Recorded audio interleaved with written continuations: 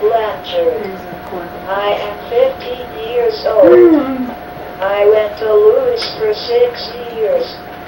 Now Hi, my name is Marie Baxter. I'm 50 years old. I am CP caused by a defect of labor and birth. CP is cerebral palsy.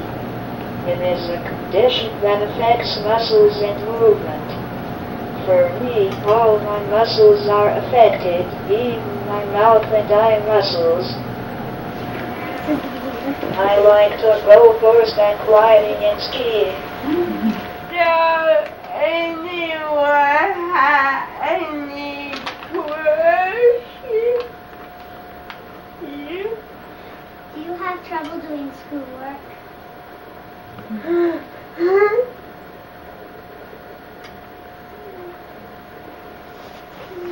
Well, one of the questions, how do you write?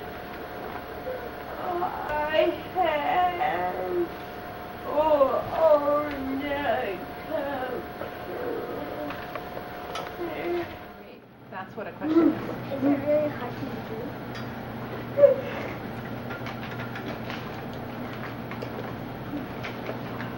All you